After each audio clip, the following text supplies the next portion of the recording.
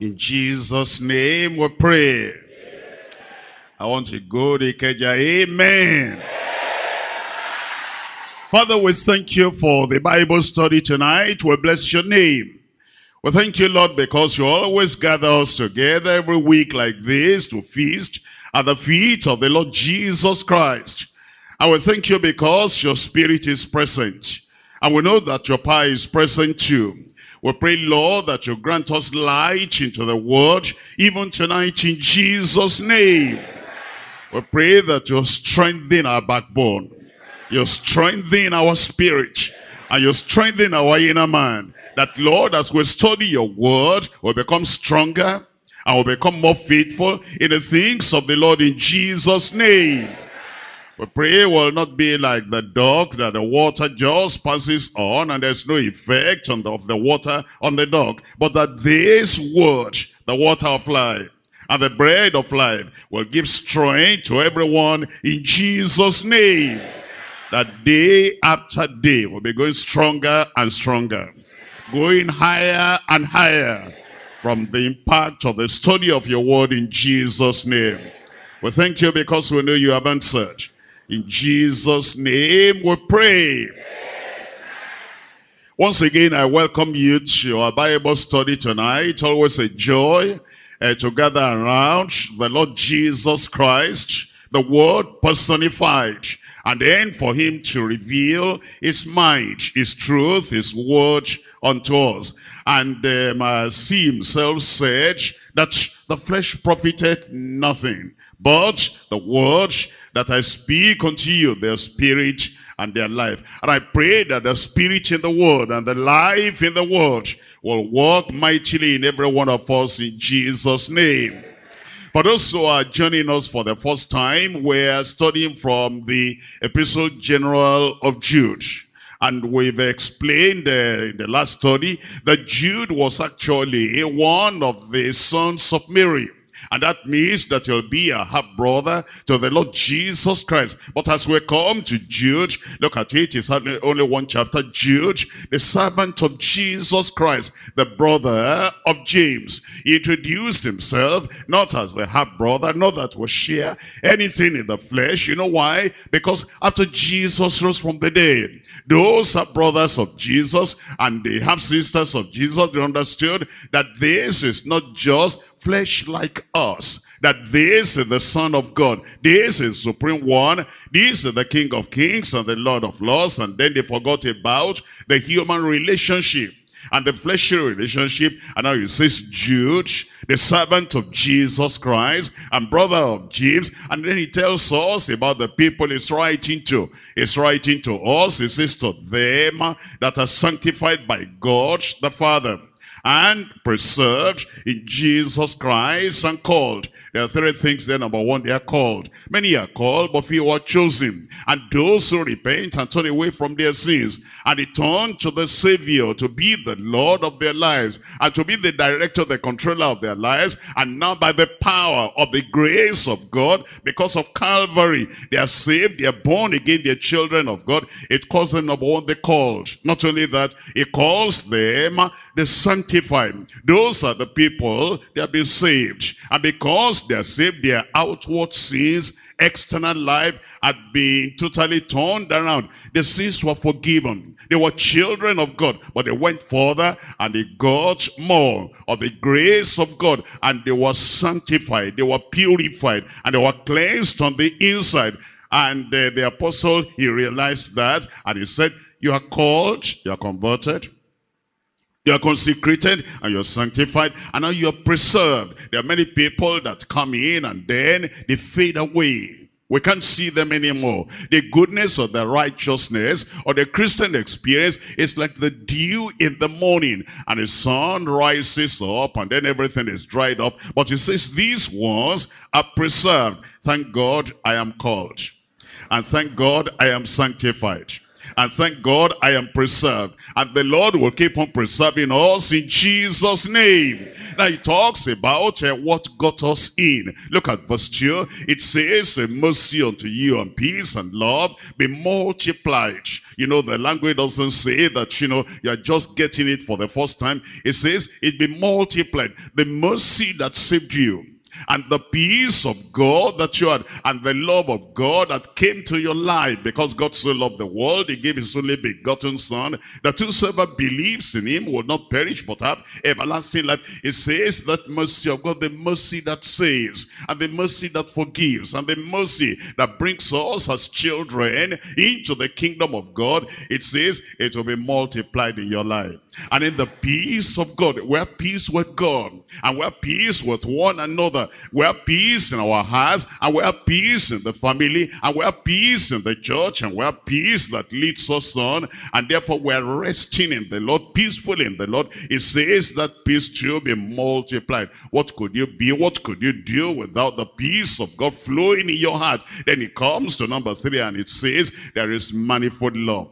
And it says that love to the love of God, the love of God, that it will be multiplied in your heart. Now he has something serious to tell us. Look at verse 3. It says, Beloved, the people who are called, beloved, the people who are chosen, beloved, the people who are following after the Lord, beloved, the people who are sanctified, the people who are purified, the people who have a conspicuous place in the kingdom of God, he calls them beloved, and the people who are preserved. These are not backsliders, but he's warning them. He says, beloved, when I give all diligence write unto you of the common salvation. What does that mean?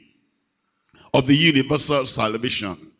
Of the salvation that's available for everyone of the salvation that has appeared unto all men, of the salvation for the white and the black, of the salvation for the Jew and the Gentile, of the salvation for the young and the old, of the salvation that whosoever shall call upon the name of the Lord shall be saved. It says, I give all diligence right unto you of that common universal salvation. Then it said, it was necessary. I found it necessary that I will exhort you, that you should earnestly, continue, earnestly contend for the faith which was once delivered unto the saints. Now it's coming to something very serious. It was serious at that time.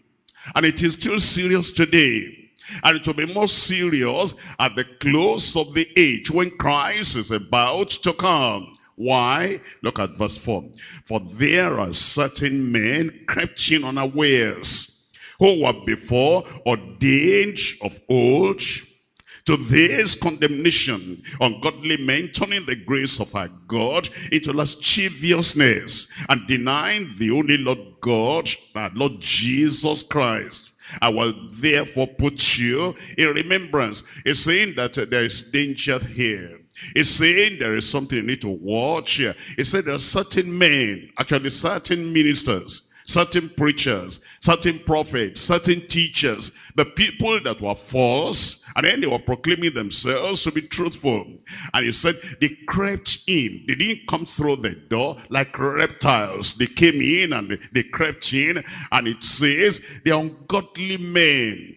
Their doctrines ungodly. Their lifestyle ungodly. Their influence ungodly their impact ungodly, and their decisions ungodly, and their passion ungodly, and their purpose ungodly. He said they are ungodly men, and they have turned the grace of God, the goodness of God, they turned that to lasciviousness. That is, uh, they turn it to habitual sinning. They say, well, God will forgive. They say, God is good. They say, God is love. They said, God cannot throw anybody into hell. They say, God cannot just judge somebody. He's a God of love. He's a God of grace. And they turn the grace of God into lasciviousness. He said, they now deny the only Lord God that bought them. They deny his justice, and they deny his righteousness, and they deny his nature, and they deny his character, and they deny everything that we know about God and about Christ. Therefore, he says, I will therefore, therefore, put you in remembrance, though ye once knew this, how that the Lord having saved the people out of the land of Egypt after what destroyed them that believed not. Is saying that, well, don't listen to those uh, people. Remember what happened in the past? After the Lord had saved those people from Egypt, the people that turned back and the people that backslid and they were perpetual backsliding and they will not return to the Lord. He said they were not able to get to the land of Canaan because they were destroyed in the wilderness. Look at verse 6 here.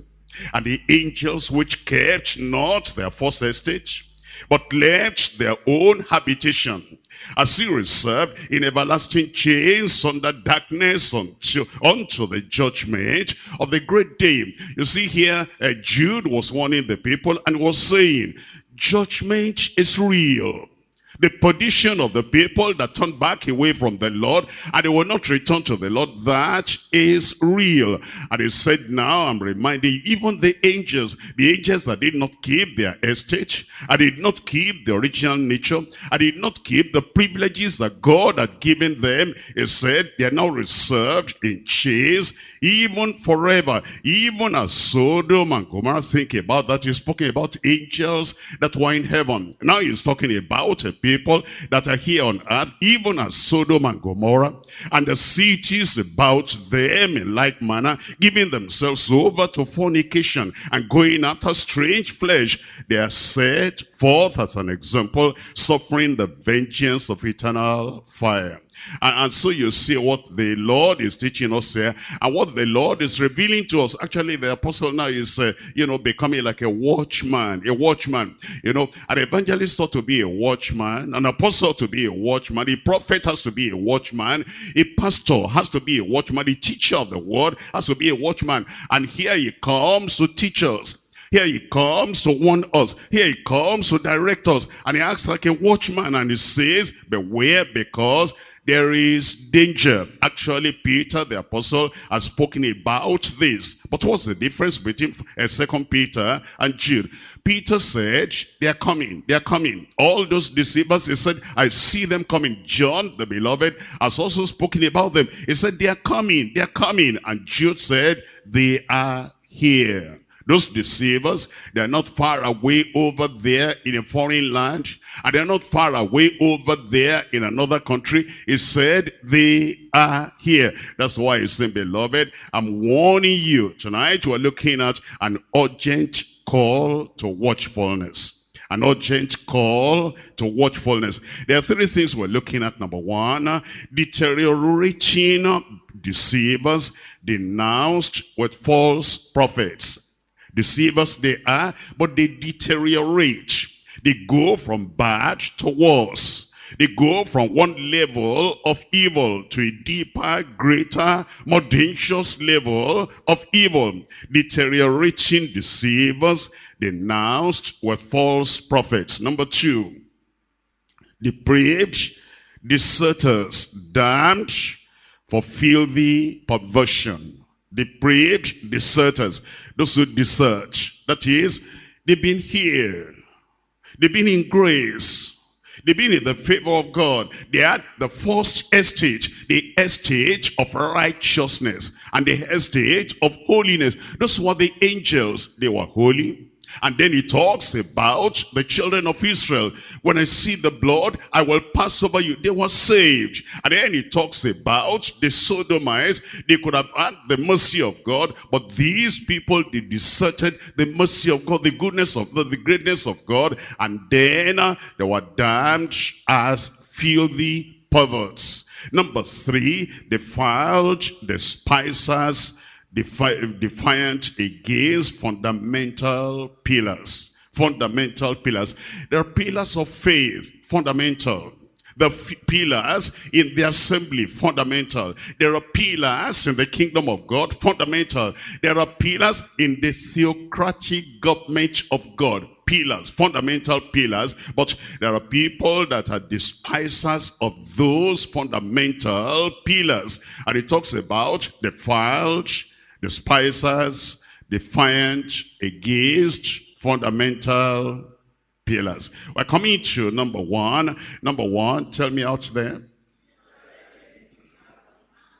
Deteriorating deceivers, denounced were false prophets. I'm looking at Jude, one chapter, chapter one. Look at verse four. It says, for there are certain men, for there are certain ministers, for there are certain preachers, for there are certain officers uh, that's what they call themselves, officers of the church. We're ministers of the church, and we are great men in the church. For there are certain men crept in unawares, crept in unawares. They creep in, and you don't notice. They come in, and you don't notice. They perpetrate their evil, and you don't notice, because they do it so quietly. They do it so surreptitiously.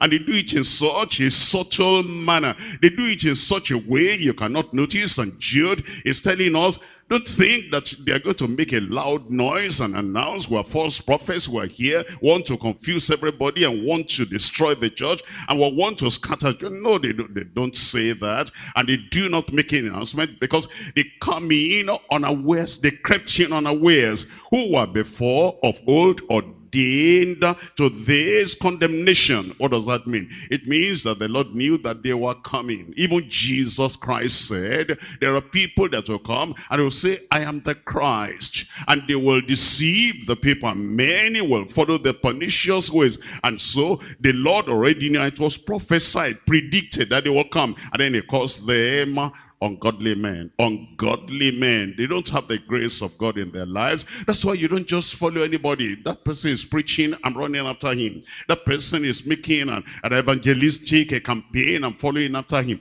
That woman is, uh, you know, announcing that, you know, she belongs to the Lord. She's seen a vision. I'm following her. It says they're ungodly. Look at their lives. Look at their character. Look at their behavior. And look at the input and the impact of their lives. It says these ungodly men, and they turn the grace of God into, tell me, lasciviousness, turning the grace of God into habitual sinning, continual sinning. And they justify the sin. And they say, you know, God is a good God.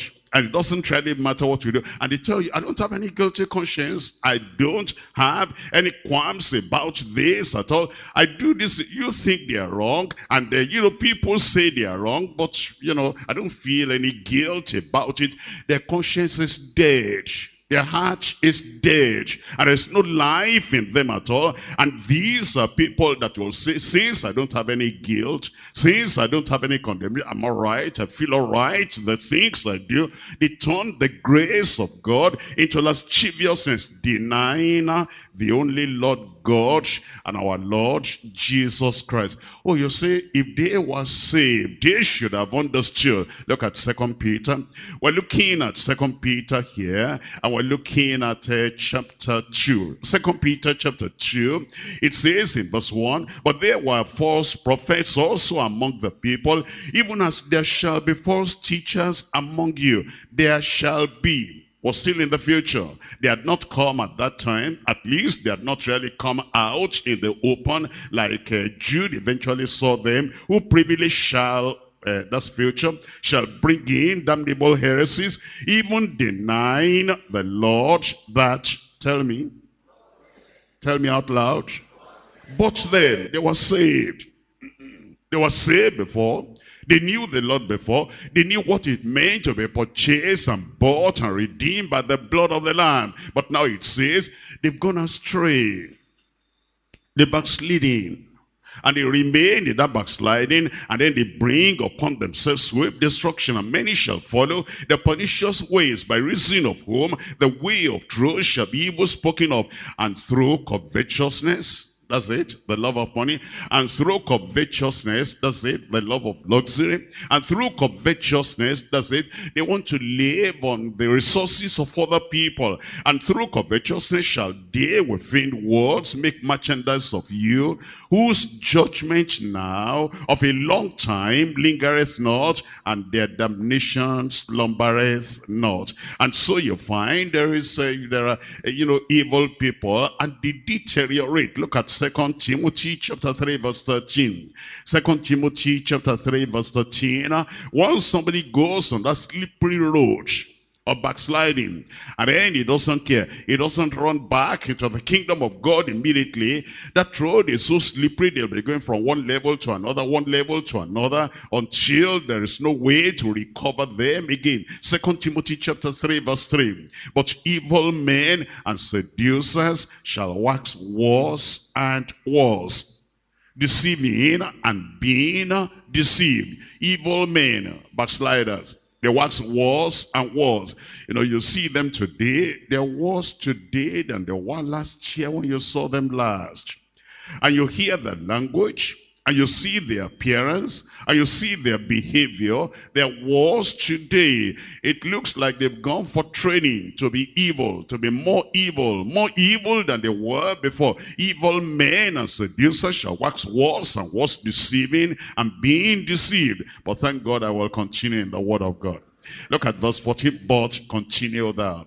The other backsliders are backsliding, but continue thou. Deceivers are deceiving, but continue thou. And the people that are evil are waxing worse and worse, but continue thou in the things which thou hast learned and has been assured of, knowing of whom thou hast learned them. I will continue.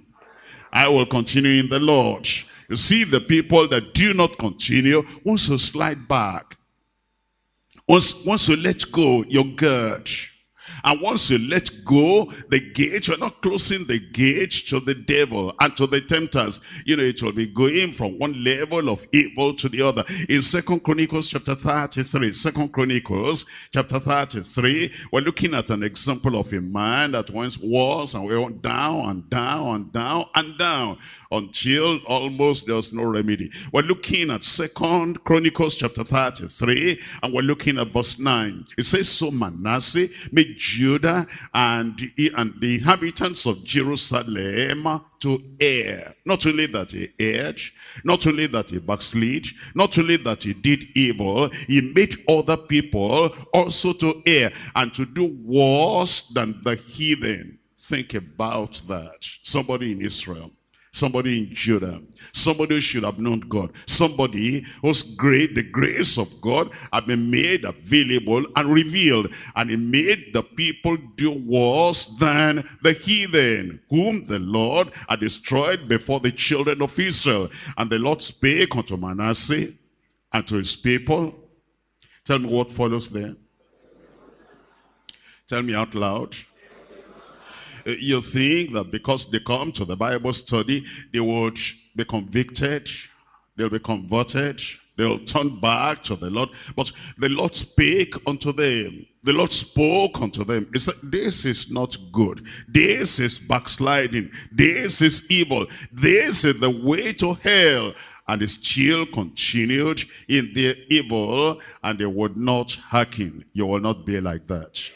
These people came in unawares. That's what we read in Jude. What does that mean? They came in unawares. Look at Matthew chapter 13. Matthew chapter 13, uh, we're reading here from verse 25. Matthew chapter 13, verse 25, it tells us over here that uh, the Lord was uh, giving a teaching, a parable. He said, but while men slept, the enemy came and sowed tares among the wheat and went his way while men slept. You know what that means? The men that those are ministers, those are the preachers, those are the pastors, those are the counselors, those are the teachers of the word of God. While ministers sleep, the enemy will come and they creep in surreptitiously. They keep in, they, they creep in in a subtle manner. They creep in in a way nobody will notice them. And then they sow those tares among the people of God. The seed of backsliding and the seed of evil and the seed of perdition. They saw all that while men slept. And that doesn't mean that we're not preaching. Yes, we're preaching, but we're sleeping. We're preaching, but we're not watching. We're preaching, but we're not watching what our people are reading. We're not watching where people are going. We're not watching whether people are standing or not. We're not watching whether we're still standing firmly on the conviction of the word of God. While men slept, the enemy came, look at this in verse 26, but when the blade was sprung up, and brought forth fruit. Then appeared the tares also. When they creep in like that and they sow that bad seed, it doesn't appear the first day, the first week, even the first month, even the first year. They keep on sowing that evil, that evil, until everything will then come up. So the servants of the household that came and said unto him, Sir, Didst not thou sow good seed in thy field? From whence then hath it tares? And he said unto them, Tell me. Tell me out loud.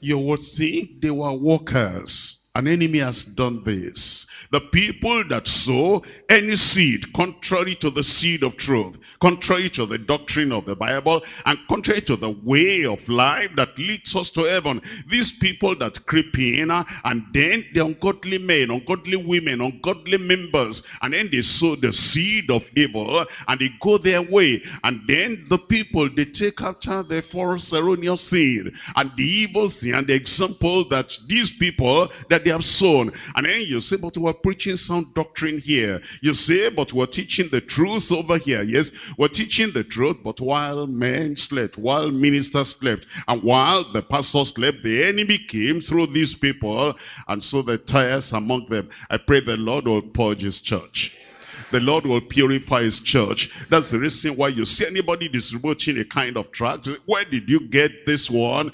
Don't worry about that. Just uh, read this. You say, no, I will not read it. Look, this is erroneous. This is terrible. And then they give you a tape over there. They give you a CD over there. And they give you something. They say, come and look at this. And then they open the internet. I saw somebody on the internet. You know what he said? He said that, you know, you can get to heaven without holiness. And he can prove it to you. And, and the man can talk and he spoke convincingly. Now I understand. You know, all you have been saying, without holiness, no man shall say the Lord. You know, I now know something better.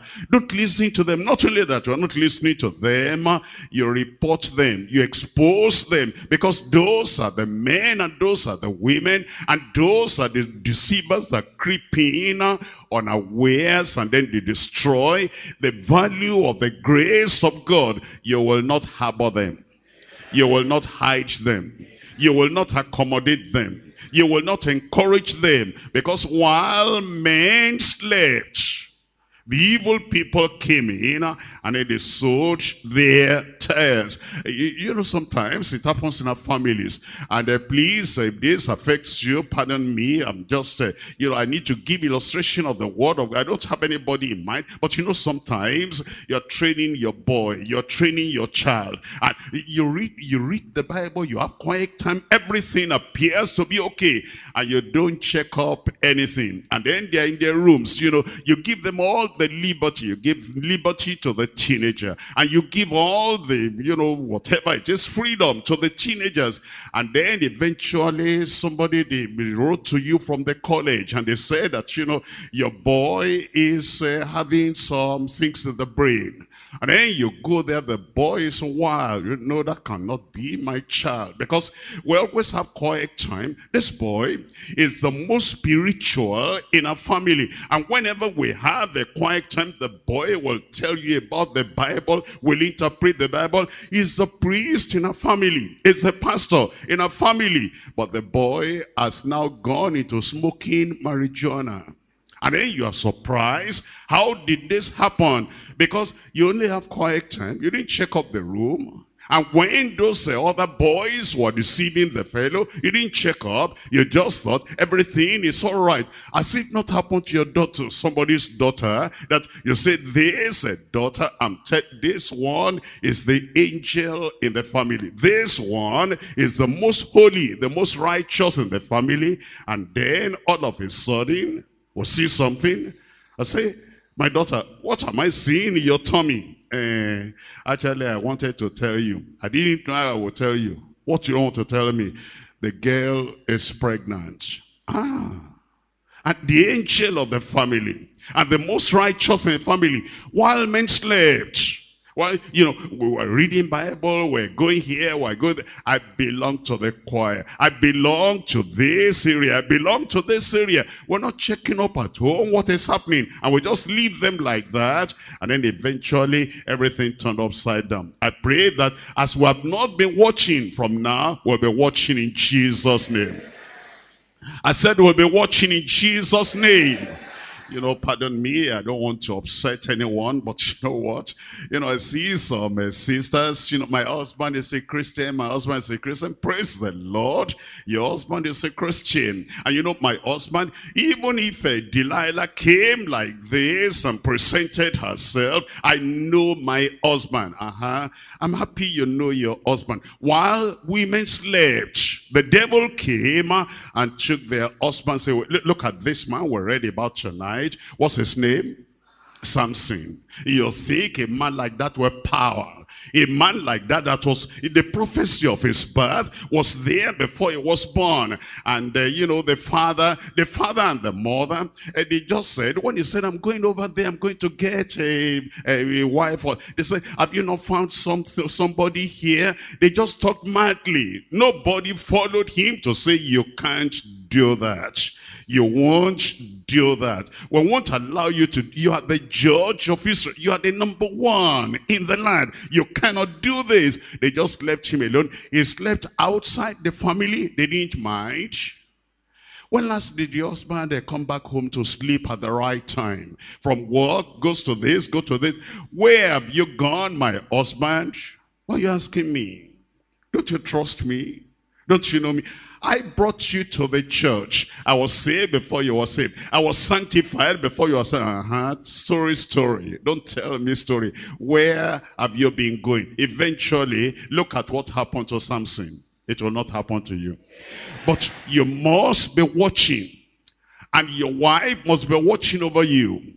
And your husband must be watching over you. And the ministers, the pastors must be watching over you. We're not just here to preach. We're here to watch and we're here to say, uh-uh, you can't do that. You can't go that direction. You know, if somebody were to take a whip in the hand and whip you and whip you to heaven, I say, praise the Lord. If you praise the Lord, I said, praise the Lord. But you know, we draw the hand of the whip. We don't correct. We don't watch we don't see, we allow anybody to do whatever they want to do. And these evil men, they creep in. They will not creep into this church. The Lord will flush them out. The Spirit of God will flush them out. And firm, watchful leadership, I'm one of them. Thank God I'm one of them. Are you happy? Thank God, if I see them, I will flush them out. And if I cannot finish, I'll say, come, come, come. Come, my brother, come, my sister. Let's do this together. We'll flush them out in Jesus' name. Because these men and these women that come in, they'll spoil the vine. They'll destroy the ministry. This ministry will not be destroyed. We're coming now to, we're coming back to Jude. I'm looking at Jude chapter 1 and I'm looking at verse 4. In Jude it says in verse 4 that these men, look at what it says about them. It says, uh, for there are certain men crept in unawares, who before uh, of all was ordained unto this condemnation of godly men, turning the grace of our God into lasciviousness and denying the only Lord God and our Lord Jesus Jesus that bought them. Now he's bringing us to point number two. Point number two, depraved, deserters, damned, for filthy perversion.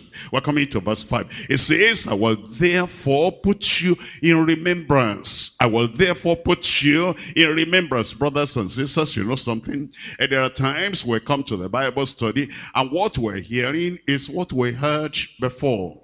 I will say, but we came to the Bible study today. Am I learning anything new? We need to be reminded of what we knew before. And sometimes, you know, I now we're going to the States as well.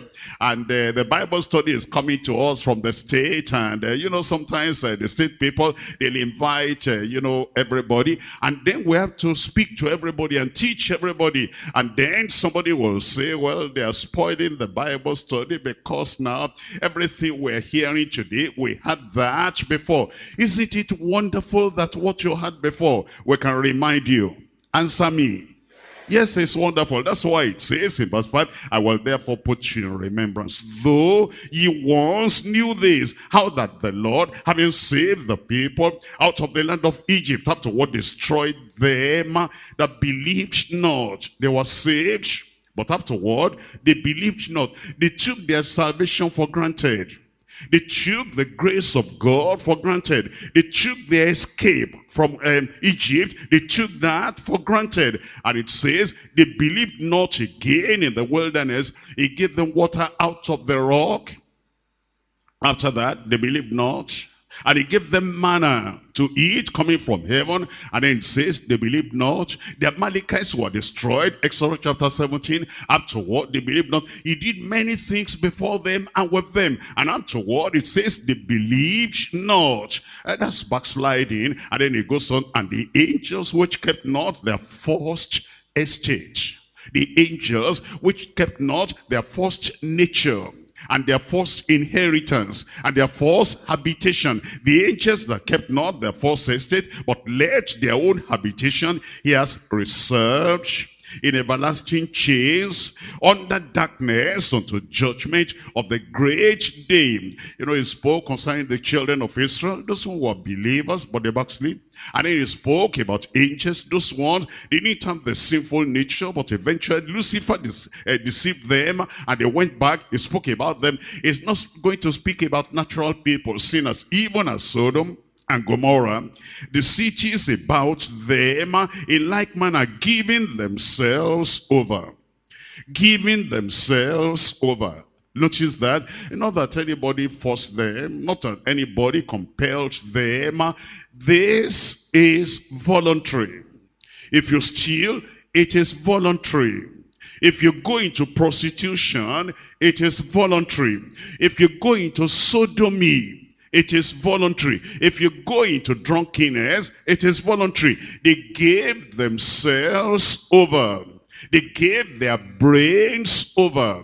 They gave their mind over. They gave their body over. They gave their privilege over. It says they gave themselves over to fornication, going after strange flesh. You know what that means? A man going after a man and committing fleshly sin. A lady going after another lady and committing fleshly sin. Abomination in the sight of the Lord. The world is becoming worse and worse and worse. People who were into sodomy, they used to hide it. They used to keep everything private. If a man was messing up with another man like himself, he'll not let anybody know. And the other fellow messing up with him will not let anybody know. If a lady was messing up with a lady, they will not let anybody know. Lesbianism. And then eventually now, little by little, they began to they began to come out of the closet. Now they show it on television. Now they show it on the internet. Now they write books about it. Now they're even saying that they want to get to the schools and tell the young people that it's another style of life. It's another way of life. They're not hiding it anymore. They used to hide it from some corporations. If you are like this, like this, and you have this kind of behavior, is aberrant behavior, a defiling behavior, damnable behavior, abominable behavior. They said, no, you will not come over here. You'll not be in this company. You'll not be this. But now they are fighting for their rights. Will be anywhere. Will be anything. Will be officers. There's no shame anymore. And they're now getting married together. Hmm. Have you heard about that? I said, have you heard? And then they're looking for children, man and man. They get married together. They're looking for how to adopt a child. A woman and a woman get married together, looking for how to adopt a child. If you knew you needed a child, why didn't you go God's way? Let a man marry a woman. Let a woman marry a man. But he says, over here, they give themselves over unto strange flesh. And they set, they set forth for an example, they are set forth for an example, suffering the vengeance of eternal fire. There's judgment at the end of the life of sinning. I said there's judgment at the end of the life of sinning. And the only way to escape the judgment of God is to come out from among them. Look at these, uh, these examples that were given. Number one, the children of Israel. We're looking at First Corinthians chapter 10. First Corinthians chapter 10, I'm reading here from verse 1. First Corinthians chapter 10, verse 1, moreover, brethren, I will not have you to be ignorant how that all our fathers were under the cloud and all passed through the sea and they were all baptized unto Moses in the cloud and in the sea and did all eat the same spiritual meat and did all drink the same spiritual drink for they drank of that spiritual rock that followed them and that rock was Christ and with many of them, think about this now, they drank spiritual drink and they ate spiritual food. What's similar to our Lord's Supper today? They took all that, but then it says in verse 5, but with many of them, God was not well pleased, for they were overthrown in the wilderness. You know, for some people, it would have been better for them if they died immediately they were born again. Look at these children of Israel. If the Lord were to take them away in Exodus chapter 15, when they sang to the Lord, when they sang praises to the Lord, He is my rock. He is my salvation. I will build him a habitation. All the armies of Pharaoh, they are sunk in the sea. He has saved us. Glorious God is glorious in holiness, is mighty in praise. If they died at that point, they would have gone to heaven. But they went on and on, and with thousands of them, God was not well pleased. Think about yourself. When you were born again, how was your conviction? When you were born again, how was your lifestyle? When you were born again, how was the righteousness in your life? How were you sober and serious? When you were born again and you experienced real salvation from the Lord, how were you at that time? How are you today? Are you still as fervent, as serious, as sober, as holy, a man of conviction, a woman of conviction, is the Lord saying, oh, what, why didn't I take him away when he was converted? Why didn't I take her away when she was converted? I'm going to tell you something else. You know, there are people, when they are married, they're all right. You know, they, they have a wife that says, Daddy, we've not done quiet time. And then they do quiet time. And then if they're going somewhere, we have not prayed, we have not asked the Lord. Uh, they'll pray and ask the Lord. If they go into their relatives and relatives are saying something, they'll say, Daddy, we have not prayed. We have not sought the face of the Lord. Why don't we seek the face of the Lord? And because of that, they were kept on their toes. Because of that, they were spiritual. Because, because there was somebody telling them, helping them, living with them, and saying, no, we can't go that way. We can't go that way. Can't we ask God? Are we not going to inquire from God? Are we not going to pray to the Lord? But the righteous wife has been taken away to heaven. And as the wife has been taken away to heaven, now the man is alone. And he slides back to what he used to be. And if he wants to do anything now, there's nobody to say, Daddy, we have not prayed. Daddy, we have not sought the Lord. Daddy, we have not checked up. Why don't we pray? And because of that, you know, the life is like now in shambles. Please pardon me. I need to teach you. I need to watch over you. There are some of us that you've lost your wife and you have children. And then as you want to get married, the children don't. What do the children do? They know nothing. They don't understand. You want to get married now so that there will still be a replacement of somebody that will say, Daddy, why do you do that? Daddy, should we do that? Daddy, should, should we pray? And then you want to get married and you tell your children, your children say no. You're not going to get married. Daddy, you know, a mother is your wife. Mother is gone. And mother is gone to glory. Mother is in heaven. Children, if you hinder this man from getting, you don't understand. You don't understand. This man is weak. This man cannot stand by himself.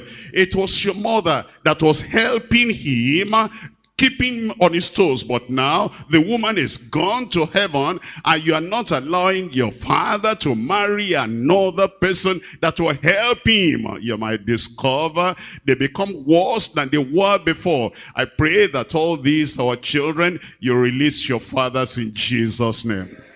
And maybe his mothers, you release your mothers in Jesus' name. So that by the grace of God, we will get to heaven. Somebody there wants to get to heaven. I said somebody there wants to get to heaven. You need somebody will help you and watch over you. You need somebody will check up on you and say, hi about this. Have you read your Bible today? Have you prayed today? Have you checked up on the Lord? Has this happened? Has this happened? We need all that so that by the grace of God, this heaven, I know I'm getting there. I said, I know I'm getting there. Ikeja people don't uh, want to go to heaven. I said, I know I'm getting there. Ikeja people will go to heaven in Jesus' name.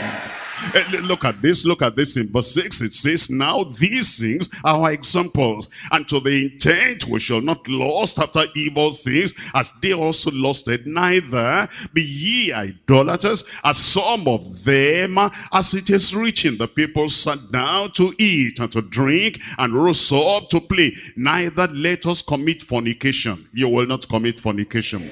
As some of them committed, and fell in one day three and twenty thousand thousand. Like that, let us tempt Christ, as some of them also tempted and were destroyed of the serpent. Neither murmur ye, you will not murmur. Believers over here don't murmur. Look up at me. I said, believers here don't murmur.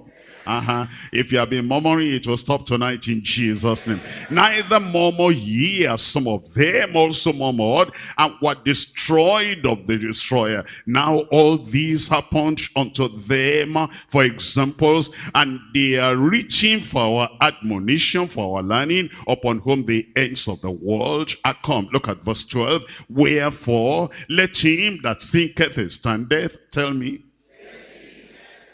let him that thinketh he standeth, say it again. Let him that thinketh he standeth take heed lest he fall. And so when your pastor wants you, don't say, Pastor, leave me alone. I know myself. I can watch over myself. I know, I know how strong I am. You, I think you know how, how strong Samson was. And you know, the strong man was telling lies. You know strong Samson was? If they bind me with this, then I'll be as weak as any other man. And they bound him, and then the Philistines upon you, Samson. And then he tore everything, and he said, you know, the power is always there. I'm different from all the other people. Just wait, it's a matter of moment, it's a matter of time. And then the Philistines upon you, Samson, shook himself again. And, and this, uh, this woman, Delilah, but you say you love me. And you're not telling me your mind. And you're deceiving me. Where is the secret of your power? And you see, those who are working for Satan, they do it every day, every day, every day. On he pestered, she pestered that man every day until she said, okay, let me tell you my mind. And he told her his mind and got lost. I pray it will not happen to you.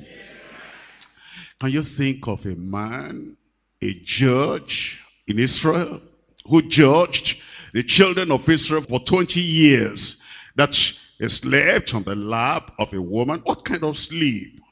That they brought somebody, the man that never had any shaving before of the head. And they shaved the head and the man did not wake up. The devil is terrible. I pray they'll not play any trick on you. They'll not make you go to sleep.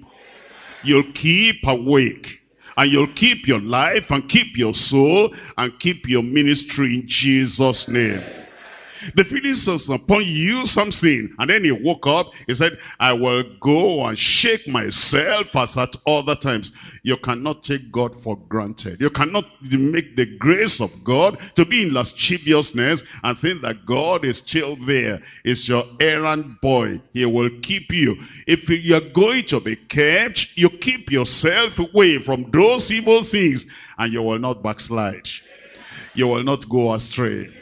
The Lord will keep you to the end in Jesus' name. I'm coming now to point number three. Defiled, despisers, defiant against fundamental pillars. Defiled, despisers, defiant against fundamental pillars. We're looking at Jude. I'm reading now from verse 8. It says, likewise also, these filthy dreamers defile the flesh despise dominion and speak evil of dignitaries.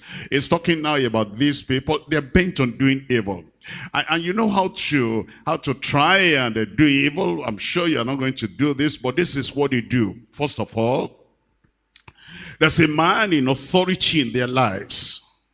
There's a leader in authority in their lives. There's a preacher in authority in their lives, and they feared him. And because they fear him, he'll say, don't go that way. Because of the level of authority, they'll not go that way. And no other person can challenge them that, that way. No other person can say, you can't do that. As long as you're here, you won't do that. And once that authority figure says that, they check themselves. And they go back, they say, oh, I'm sorry. But they say, but I don't want this kind of authority. And this is the only person. It may be a father, biological father. It may be a mother, biological mother. It may be, uh, you know, somebody that God used to bring you into the kingdom. And it's not your pastor, but it's the one that brought you into the kingdom. And you respect him. And if he hears anything and says, no, you cannot do that, you check yourself. Or it may be a pastor, your local pastor, that says, come, I'm hearing something about you. You cannot go that way. And then immediately you check yourself. That authority figure in your life, the devil will tell you, you know, you're in bondage to this authority figure. You don't have a mind of your own. You can't go the direction you want to go. You can't say what you want to say. You can't eat what you want to eat. And you can't have friends like you want to have friends. And so what's the solution? How are you going to be free? The way to be free, destroy the authority of that man. Because it's the only one that can check you. It's the only one that can say, no, that can't happen. No, that will not happen. Once you destroy his authority, how do you do that? You begin to disobey him. If he says, no, you can't go that way, you may not talk, but you go that way and see what he will do. And then he'll call you and say, what did I tell you? And then you are just looking at him. So, okay, don't do that again. And the way to be free from authority is to do that again. Is to disobey and disobey and disobey until the table turns and everything shifts. You used to be afraid of him, now is afraid of you. And if you want to do something, because the table has turned, instead of you being afraid of him, is wondering, how do I tell him now? Because I told him the other one, he didn't accept. I told him the other one didn't accept. Already he has overcome that authority. He is now in authority, but is a servant that comes over the master and that man eventually may be lost. I pray you'll not be lost. So these people, what did they do? Look at verse uh, 8 again. Likewise, these filthy dreamers, they defile the flesh. If they defile the flesh, there's somebody in authority, somebody in dominion who is going to correct them, who is going to challenge them. And then it says, they despise dominion. They despise dominion. And what's that? They are defiant, disobedient, openly disobedient, openly defiant, so that the only one that will save them will not have any voice anymore, and they'll be lost. I pray it will not happen to you in Jesus' name. You know what? In our church, by the grace of God, when we started, you know, the pastor used to say, you can't do that. And then we shrink. We go back, I'm sorry that I went that way. And then we're afraid. If you do that, well, discipline you. And we were afraid of that discipline. And then they used to tell us, they say, deeper life, you make your pastor a God. Deeper life, you make your pastor a God. Deeper life, you make your pastor a God. And they kept on repeating, repeating, repeating that until somebody woke up and said, uh -uh, that's true. I'm a Christian. I'm a child of God. I have a Bible. I have a conscience. I have the Spirit of God. Am I obeying this man? Am I, you know, he says, see now, I see now, stand up, I stand up. And then little by little, deliberately. And it is, a, it's program, it's programming. We call it conditioning. That he says, this is not right. The Bible says that be not in equal yoke together with unbelievers. And that's exactly what that man is going to do. And then the Bible says, obey them that have the rule over you. And then we deliberately disobey until the table turned. That maybe your pastor, your local pastor does not have any kind of backbone to say, my brother, why can you, how can you go that way? My sister, how can you go that way? Because now the authority figure is gone. And it is a way to ruin the church. It's a way to ruin your life. I pray that we'll come back to the right level in Jesus' name. That's what our teenagers do to get out of the authority of their parents. That's what the students do to get out of the authority of the teachers. That's what the country does to keep uh, to get away from the authority of those who are ruling, who are leading. And I pray that all that will change so that you will not be lost in Jesus' name. And let's come back to this. Look at that verse 8 again. Likewise, these filthy dreamers. They're dreamers. They're ambitious and they want to get here and get there, but they're filthy. They're backsliding. They're abominable. They're adulterers. And they're fornicators. And it says they, they defile the flesh. They despise dominion. And tell me. Tell me together. One, two, three, go. They speak evil of dignitaries. Uh, you know, you, you find that that's what happens in the world speak evil of dignitaries so that students will take laws into their hands. They control the school, not the principal, not the teachers. And so that the citizens will control the country, not the person on top there. If the person on top, if he drinks water, they write about it. If the person on top there, if he has, uh, you know, any medical challenge and he goes to a clinic over here, they write about it. It's like, you know, everything, there's, there's no authority figure. And they despise dominion. And when it happens like that in the church, the society can cannot lead us right. Church cannot lead us right. Bible cannot lead us right. And God cannot lead us right. And we despise dignitaries and then we oppose all dominion we're lost. That's how the churches are lost. That's how the churches, denominations, that's how they crumble. And your church will not crumble so that by the grace of God, this word of God will still be established in this our church. And then there'll be a leader in every local church. There'll be a figure in every family. There'll be somebody in every community that we will look up to. And by the grace of God, if he corrects us according to the word of God, we'll obey in Jesus' name. It is for our good. It's for our protection. It's for our preservation. It's so that we will not go astray. And I thank God for the people here tonight. The way I see you, you will not go astray the word of God will have impact and power in your life in Jesus' name. Hey, eh, look, look at verse 9. Look at verse 9. Yet Michael the archangel, when contending with the devil, he disputed about the body of Moses, does not bring against him a railing accusation, but said, the Lord rebuked thee. He's saying that these uh, defiled uh, people and these uh, human, you know, men and women that are defiling themselves, that are despising dominion, that are speaking evil against dignitaries, they're not even learning from the angels. That the angel, when he disputed with uh, Satan concerning the body of Moses, he didn't have any really accusation. He didn't, uh, you couldn't uh, insult him. But you know, the people, they insult leadership the way they want. The people, they go against leadership the way they want. And he says they're not learning the lesson that they ought to learn. Look at verse 10. But these speak evil of those things they know not. The things they don't understand, they speak evil of them. They speak evil of restitution. They speak evil of holiness. They speak evil of God. They speak evil of Christ. And they speak evil of the sacrifice of the Lord Jesus Christ. And uh, they think nobody can challenge them. They can blaspheme openly. They think nobody will challenge them. It says, but these speak evil of those things they know not. But what they know naturally as brute beasts in those things they also corrupt themselves. I pray you'll not be like that.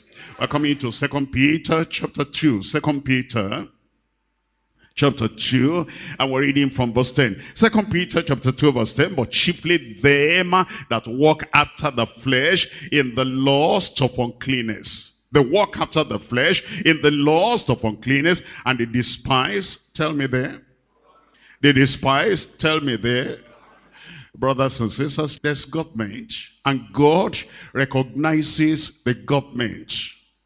And when in the country, it's like, you know, it's now the normal thing to speak against the police, speak against the army, and speak against the government, and speak against governors. And there are people who say they are Christians. They say they are believers. They do not understand that the spirit of the world is a spirit of rebellion. They will use their ability to write and their ability to draw and their ability to do whatever to make a caricature of the people in leadership in the government. It's a sign of backsliding. It's an abomination in the sight of the Lord. And when they've done that in the public, they bring it to the church. They bring it to the church. And they also speak evil of the government and administration in the church and the leadership in the church the conscience is dead and the life is not the life of the Christian. Bible apart, their lives apart. Bible study apart, their character apart. The Bible study does not affect their action, does not control their lives. And it says, chiefly them that walk after the flesh, not after the spirit. In the lust of uncleanness, they despise government. Then it says, presumptuous are they, self-willed. They are not afraid to speak evil of dignitaries. And in fact, they'll tell you, they say, you know what? I feel bold. I feel courageous. And I feel fearless. That kind of fearlessness will drive you to hell. I feel courageous to challenge leadership in the government and leadership in the church and leadership anywhere. I feel courageous to say my mind. That kind of courage will lead you astray. It says over here, they are not afraid to speak evil of dignities. Look at verse 11, whereas angels, which are greater in power and might, bring not really an accusation against them before the Lord. But these as natural brute beasts made to be taken and destroyed. I pray you'll not be destroyed. They speak evil of the things that they understand not and shall utterly, tell me, in what? In their corruption. That kind of boldness is corruption. That kind of fearlessness is corruption. That kind of defiance against authority and against leadership is defiance. And it says such people, they will perish. I pray you will not perish. And then you know what they do? We're looking at Isaiah chapter 30 verse 9. Isaiah chapter 30. And we're looking at verse 9. Isaiah chapter 30. And I'm reading here from verse 9. Isaiah 30. We're reading from verse 9. Here it is. It tells us in the word of God that this is a rebellious people, lying children, children that will not hear the law of the Lord. Have you seen people like that? I said, have you ever seen anybody like that?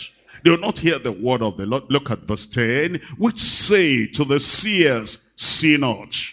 And to the prophets, prophesy not unto us right things, but speak unto us smooth things, prophesy deceits. That's the religious world.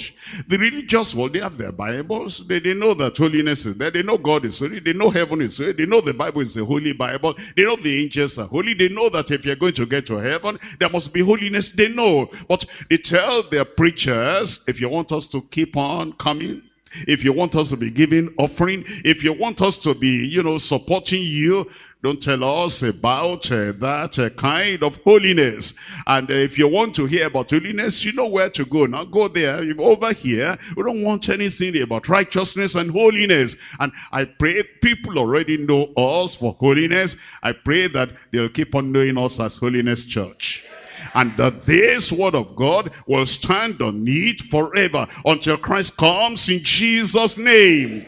But it says there are people that will tell the seers, see not. And the prophets prophesy not. Don't prophesy any good thing to us. Prophesy smooth, smooth things. Tell us, God bless you. God bless you. Even though you are in sin, God bless you. Even though you are backsliding, God bless you. Even though you are blaspheming, God bless you. Even though you go into polygamy, God bless you. Even though you go to marry an unbeliever, God bless you. Whatever it is you're doing, God bless you. And that's what we want. But that's the way of error. That's the way of deception. And that's the way of destruction. And I pray the Lord will rescue and deliver us in Jesus' name. But the Lord is now saying that we need to watch. That's why he's giving us all this. He's telling us that we ought to watch. That's why Jude tells us, we're looking at Jude now chapter 1. Jude chapter 1. And we're reading from verse uh, 3. Jude chapter 1 beloved. I pray that we remain beloved in the sight of the Lord in Jesus' name. Beloved, because we're saved. Beloved, because we're sanctified. Beloved, because we're preserved in the truth. Beloved, when I gave all diligence to write unto you of the common salvation, it was needful for me to write unto you. Necessary for me to write unto you. It was compulsory for me to write unto you. It was compelling for me to write unto you and to exhort you that you should, how do you contend? That he should tell me out loud, earnestly contend for the faith, not against the faith. Not against the faith. There are people that contend against the faith. They want to have their way. They want to go into the way of error. They want to silence the truth being preached. And they want to silence a bold preacher preaching. Therefore, they contend against the faith. But the warning we're given, the watchfulness we're called to, is that you should earnestly contend for the faith once delivered unto the saints. Well, we'll do that. And then he tells us if we do that, look at uh, verse, uh, look at verse uh, 21. Keep yourselves in the love of God, looking for the mercy of our Lord Jesus Christ unto eternal life. In verse 24, now unto him that is able to keep you from falling it will keep you from falling. If we take heed according to the word of God, if we take the word of God seriously, and then if we're making any mistake, if we're going astray, we come to the Lord and say, Lord, I didn't know this. Little by little by little, I was leading back to this position. Oh Lord, the, the fire I had in days gone by, and the zeal I had in days gone by, and the conviction I had in days gone by, restore it unto me. There's restoration tonight And then now unto him who is able to keep you from falling and to present you faultless before the, his presence, the presence of his glory with exceeding joy to the only wise God our Savior, be glory and majesty, dominion and power, both now and ever. Amen. The Lord will keep you. The Lord will keep you. We'll get to heaven together. Let's bring back all the great qualities we used to have and the way we fought against sin and we fought for the truth. Honestly contending for the faith once delivered unto the saints. Those good days are coming back from tonight. Let's rise up and talk to the Lord in prayer and say, Lord, here am I, Lord, here am I, Lord, here am I. I need to get back to that conviction, to the moment of conviction and I need to get back to this fiery kind of a, uh, lifestyle that will fight against the truth and stand for the truth of the word of God. I will not be defiant against authority. I will not be defiant against uh, constitutional authority, either in the government or in the church. I will stand for the truth. And if you have a good wife watching over you, praise the Lord. You have a good husband watching over you, praise the Lord. You have a good uh, pastor watching over you, praise the Lord. You have a good leader there watching over you, praise the Lord.